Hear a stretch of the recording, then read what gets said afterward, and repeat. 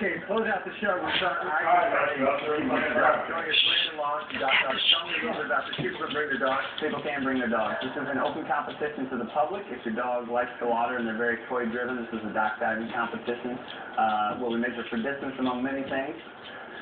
So, uh, any breed, any size, any color, it does not matter. You can come on out here and jump with dock dogs. You just can't be a puppy, I guess. All right, just have to be at least six months old. That's it. All right. Who am I competing against? You are going to be competing against Kai. This is a Belgian Malinois, about a year old. He's handled by Greg.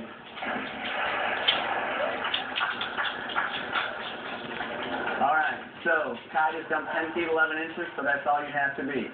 I can do that. You can, you can do 10 11? Yeah. All right, well, just in case motivation, I'll put this out there about the same place as it was for. That's faking, man. Here. Oh, now you are.